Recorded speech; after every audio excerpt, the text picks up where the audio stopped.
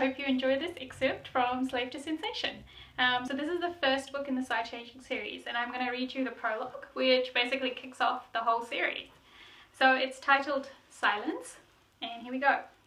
In an effort to reduce the overwhelming incidence of insanity and serial killing in the Psy population, the Psy Council decided in the year 1969 to instigate a rigorous program called Silence. The aim of Silence was to condition young Psy from birth the aim of the conditioning was to teach them not to feel rage. However, the council soon discovered that it was impossible to isolate that one emotion. In 1979, after a 10 year debate over the millions of minds in the PsyNet, it was decided to change the aim of silence.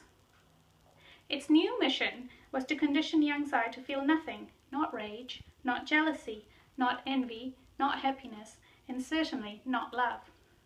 Silence was a resounding success.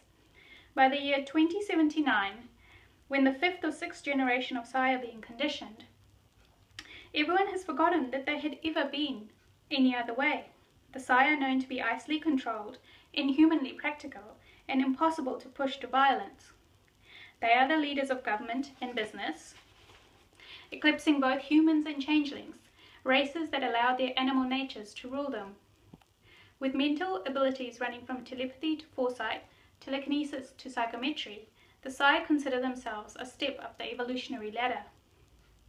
In keeping with their nature, they base all their decisions on logic and efficiency. According to the PsyNet, their mistake rate is close to nil. The Psy are perfect in their silence. So you go, that was the that was the prologue from Slave to Sensation.